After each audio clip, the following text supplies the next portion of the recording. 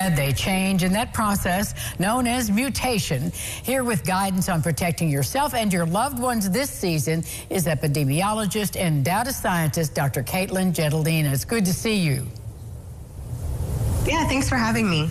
Well, in light of what I uh, just stated about mutation, what are the challenges in creating uh, new vaccines or improved vaccines when you're dealing with something that's ever changing? It's true. So COVID 19 and flu mutate, continuously mutate, and they change very quickly, creating new versions of themselves. And each one of these new versions finds a way to start chipping away at our immunity wall, creating infections, and unfortunately, with medically vulnerable hospitalizations and deaths. And so, this is why we update COVID 19 and flu vaccines regularly to address these mutations, to patch up that wall, to make sure it's in tip top shape the next time we come in contact with the virus. And are we seeing or will we see soon the new updated vaccines for both COVID 19 and the flu?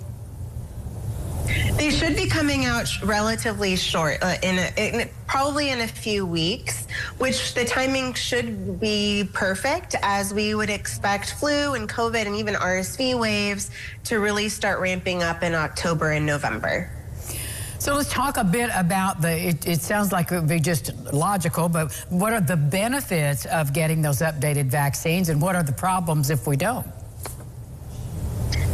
Yeah, so staying up to date with your vaccines is really the best way to reduce your risk of severe illness, hospitalizations, and deaths from COVID and from flu. And this continues to be really important because it's still resulting in thousands of hospitalizations and deaths each year.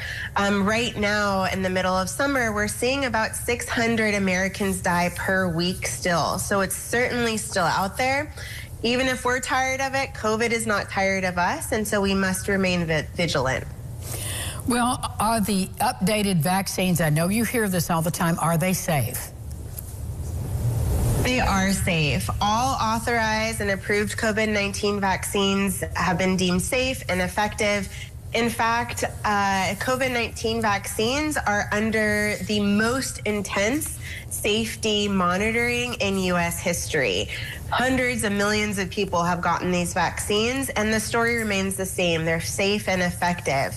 U.S. follows a really uh, stringent golden standard review process, which includes lots of research, clinical trials, robust re regulatory review, as well as ongoing monitoring and of the safety even after we get vaccines. And like I said, the story hasn't changed. These vaccines are safe, far safer than an infection, and uh, continue to be effective every year. Where will we be able to get our vaccines this year?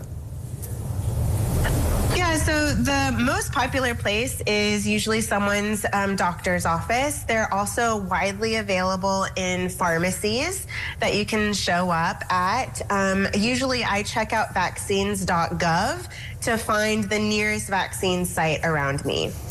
And is that the website you would send the viewers to to learn more about the vaccines and the updated vaccines? Yeah, so in addition to cdc.gov, another great resource is CVEEP, which is cveep.gov slash stay updated. There's a lot of vaccine resources on here that is reliable information, and you can also learn more about the importance of updated vaccines. Also, always talk with your healthcare provider. They know your health the best, as well as they'll know when their updated vaccines will be in stock so you can make an appointment.